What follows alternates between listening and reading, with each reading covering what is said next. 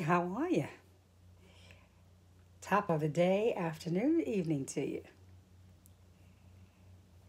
Scripture that I'm going to be talking about today, a little tidbit, is from Philippians 2 and 13, the Amplified Bible translation. For it is not your strength, but it is God who is effectively at work in you, both to will and to work that is strengthening, energizing, and creating in you the longing and the ability to fulfill your purpose for His good pleasure.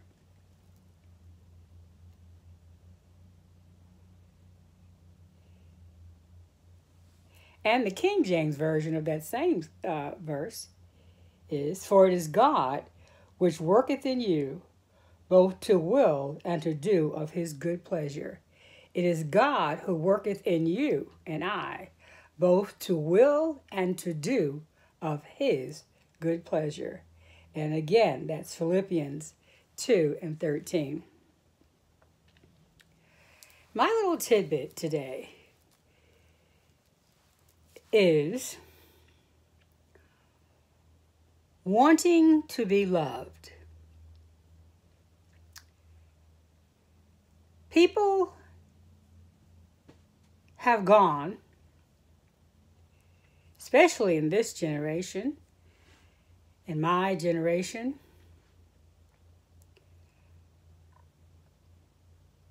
from wanting to be loved to I don't need anybody.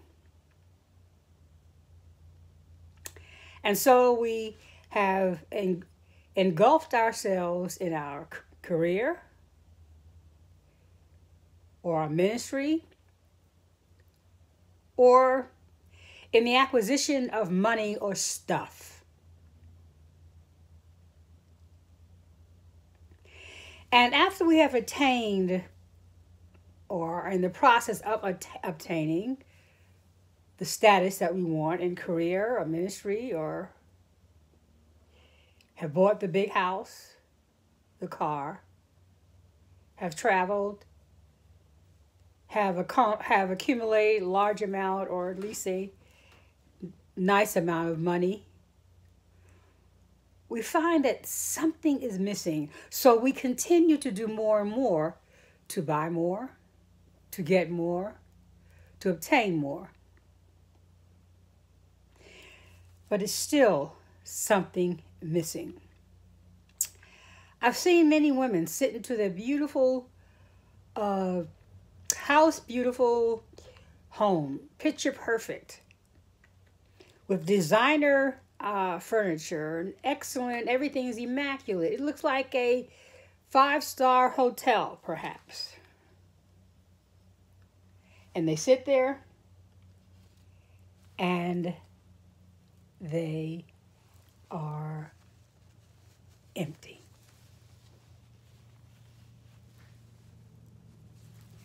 Wanting to be loved. Everything that is alive has a innermost soul thirsting longing to be loved. Oh, the religious world has told us that as long as you got God, that's enough. And yet, many young people, young women in particular, because our center is based on core of us based on the need for love.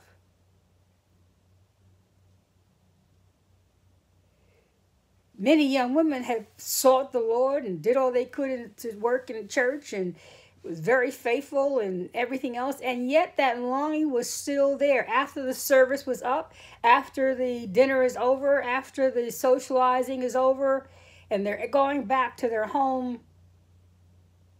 The want is there wanting to be loved. And they prayed, and the mothers told us to fast. And when we got through praying and fasting, we still, the wanting was still there, wanting to be loved. Many just gave up on God because they said it was a lie, that He does not fulfill your needs. I still want to be loved, and, and there's no one loving me. And God, you seem like you failed me because they told me, told you if, if you asked, He would give you anything you wanted, which that is not true at all. Scripture says, if you delight yourself in God first, commit your ways, delight yourself in God, then He will give you the desires of your heart. But, this, but your heart, our hearts, will be transformed into what God wants for us as we commit ourselves to Him and make ourselves happy in Him. It's relationship that brings about the delight. It's relationship that brings about the contentment. It's relationship that brings about the I am happy or content in what God has chose for me. Excuse me, my eye is a little dry this morning wanting to be loved. So I've attained the house, I've attained the car, I've obtained the jury, I've obtained the bank account, I've obtained the career, I've obtained status symbol, and yet when I go home in my house, I still want to be loved. I did all the church told me to do. The preacher told us to do. Pastors, some of you became pastors, some ministers, some sort, but we still want to be loved. What's wrong with me? Why is it I still want to be loved? I want somebody to tell me they care. I want somebody to tell me they admire me. As a woman, I want somebody to tell me I'm beautiful. As a man, now I don't know about men, but I can only speak for women, but I will surmise that you want someone to tell you that you're valuable and perhaps even handsome. Wanting to be loved. Many have taken down their standard just to have somebody to say, I love you. Even though in your heart of your heart, you may not fully believe they mean it, but at the moment, it's what you needed. I'm not judging it.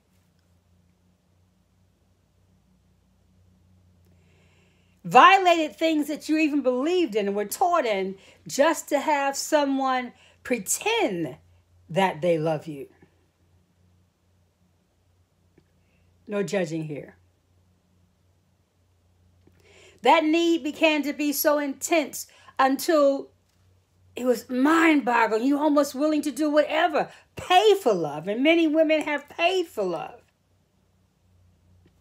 Bought him everything you could think of, bought him everything he, he thought he wanted, just so I can hear him say he loves me. Even if I don't feel it, just hear him say it.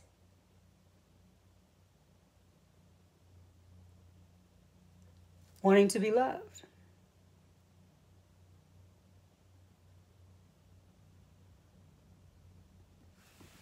Perhaps it is not you that I speak to today, but I assure you, someone that you know I speak to. Feel free to share this if you know someone like this. God has placed in us, I say a GPS love tractor, GPS tracker that tracks when there's someone that is willing to love. We wanting to be loved, someone who is willing to love. Now, the issue is the level of maturity of that person's love. Because some love is love on condition, some love is love just for the moment, some love is love, well, I love you and I'll love other people too, and no commitment love. But my purpose this morning is to tell you, my dear friend, my dear daughter, I speak mostly to women, but you're welcome, the men also, to listen. I speak to let you know that it's okay for what you are feeling on the inside. It has been implanted in you by the Heavenly Father to want to be loved. You fought it, you've hated yourself for it because of the things you may have done to get that feeling of somebody, anybody just love me. Somebody, anybody, just tell me I'm valuable, I'm beautiful, anybody. And so anybody comes along. The Bible says his words were smoother than butter. And he loves, he does what he calls love you for a season. A second, a moment. And then he's gone.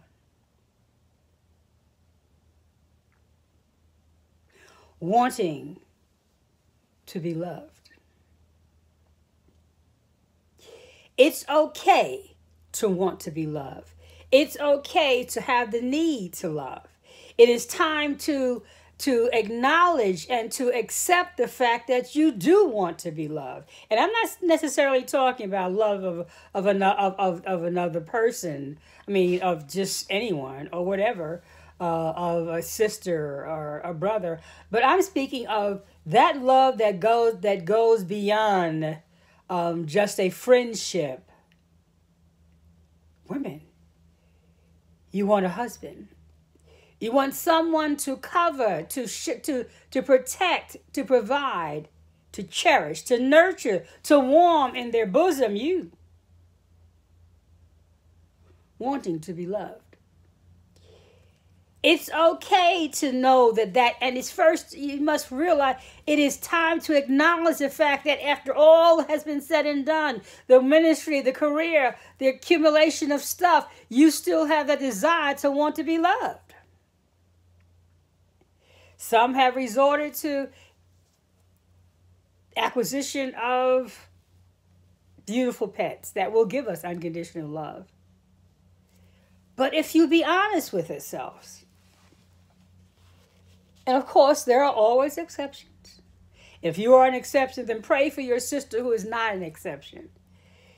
Animals, our pets, our dogs, our cats, our birds, or whatever your particular uh, love animal is, they give us love as we give them love. I work at a, a animal shelter, a uh, sanctuary where when animals are unadoptable, they go there and they live their life out there. And I go there and I I see so many kitties that just 100 and some 50 kitties that are longing just some touch me. Just touch me. Just look in my eyes and tell me that you love me. Just rub me. Just let me sit by you. It is heart drenching mind boggling to see the kitties just longing just for love. And you and i are no different. As much as we may try to deny it to say that I don't need anybody. You have been given a DNA within the core of every fiber of your being to long to be loved. That's the first step to acknowledge it, to stop denying it, to stop trying to replace it with stuff or things. Oh, it won't happen overnight, but at least to begin the journey. Things will not place and fill the need for you longing to be loved. There is a healing that must take place.